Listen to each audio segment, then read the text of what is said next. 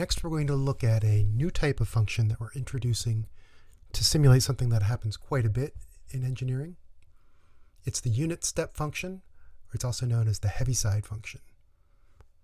We're going to use h of t to represent this function, and it is 0 for t less than 0 and 1 for t greater than 0.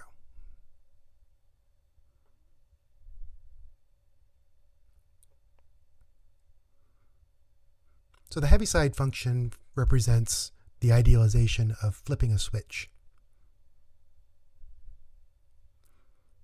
If the switch is supposed to come on at some time other than zero, we can just shift the argument of the step function.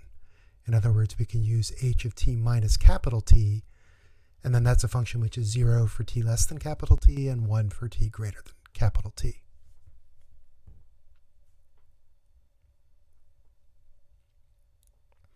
Now the key thing to know about these step functions is that if we put them in as the forcing function of an ODE, linear ODE,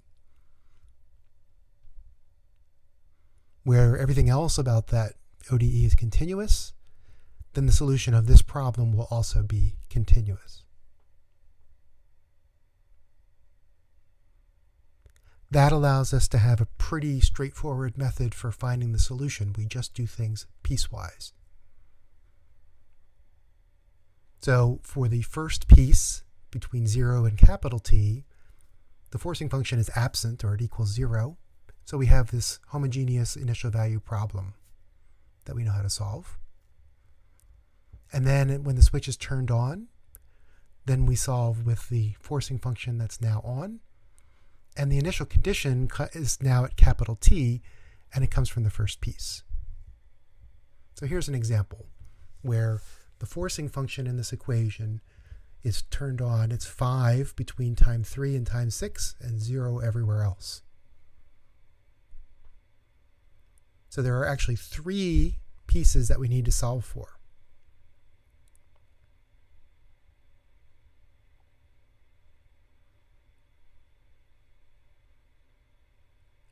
There's the piece from 0 to 3, and then the part from 3 to 6, and then the solution from 6 to infinity.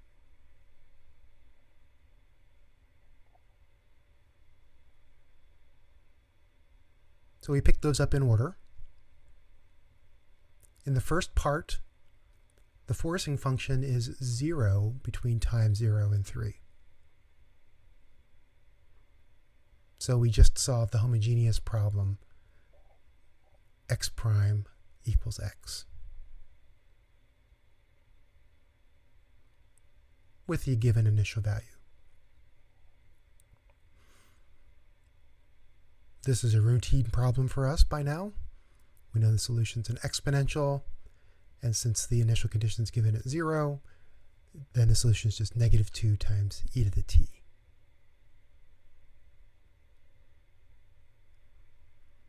Now for the next piece, the forcing function equals 5 over the interval from 3 to 6. So now we have this non-homogeneous problem to solve. And the initial value, right, t 3 is considered the initial time for this piece. That comes from x over the previous piece evaluated at t equals 3. This is a non-homogeneous problem, so we have to have the homogeneous part plus a particular part. To solve this particular part, it's very easy to use the method of undetermined coefficients.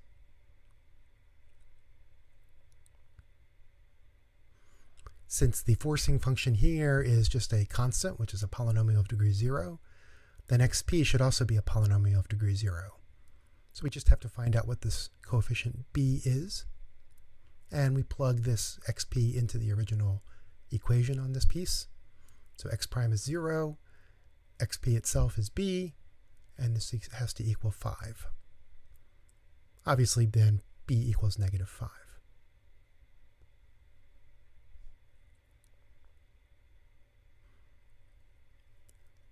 That tells us that the solution over this piece is a constant times e to the t plus negative 5.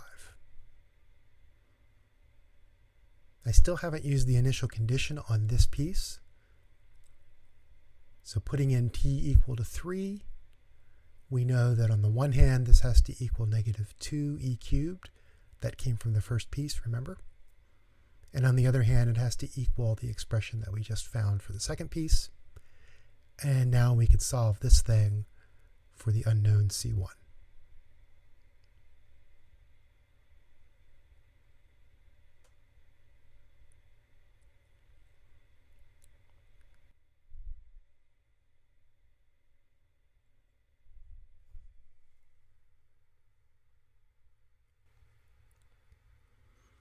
That gives us the entire solution for the second piece of the time interval.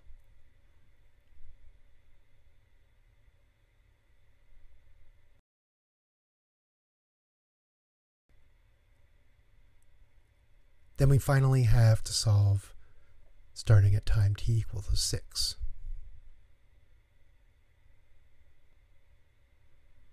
Now over this time interval, the forcing function is again 0. So we again have a homogeneous problem, and now the solution is given at time 6 from the previous segment that we just found with t equal to 6.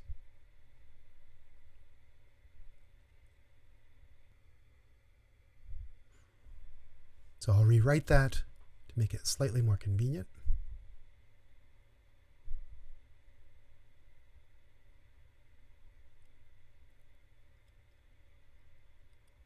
Now the solution to this problem, it's homogeneous, so it's just a constant times e to the t.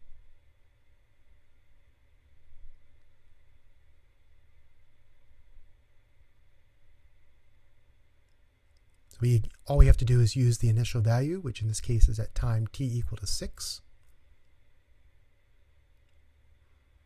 And that helps us solve for this constant c2.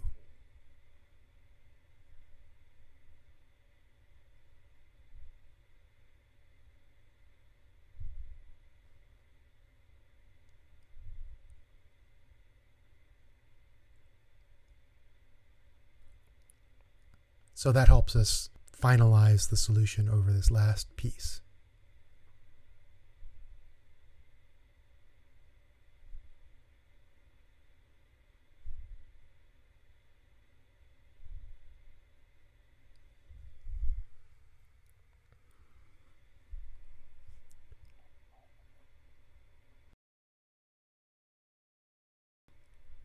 The entire solution to the problem is defined piecewise. We have one formula for time 0 to 3. Over time 3 to the 6, we have a different formula. And for times greater than 6, we have a third formula.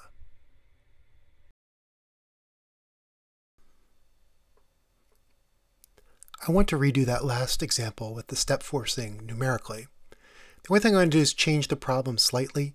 Um, in order to make a nicer picture, really, I'm just changing the coefficient that used to be 1 here. I'm just making it 1 tenth instead. So the first piece of the solution goes from time 0 to time 3. I have to define the differential equation for the numerical solution. So remember, I define a differential equation by creating a function that says what dx dt must be. So dx dt as a function of t and x is 0.1 times x. I'm going to solve this at 200 points in the interval from time 0 to time 3. And then in my solver, I have to give it the f, the time, and the initial value. So I'll do that and plot the solution. Now that the solution's done, this TA is now a vector of 200 times from 0 to 3, and XA is a vector of 200 solution values at those same times. All right, in the second piece, now the forcing term is turned on. So I have this plus 5 here. So that reflects, or that has to be reflected in this definition for the differential equation here. I want to solve this piece at time times between 3 and 6. And then specifying the initial value for this segment is a little bit tricky because mathematically what I want is the value of the solution xa at the time t equals 3. And if we were writing that on paper, we would write xa parentheses 3. But in this program, that would be the third element of a vector v or of a vector xa. That's not what I want because that would be some early time close to zero. Instead, what I want is the value of the solution that corresponds to t equals 3, which is at the very end of the vector.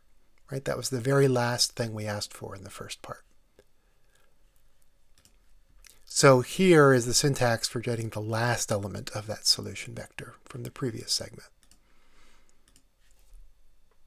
And when I look at the solution, it's continuous as it's supposed to be.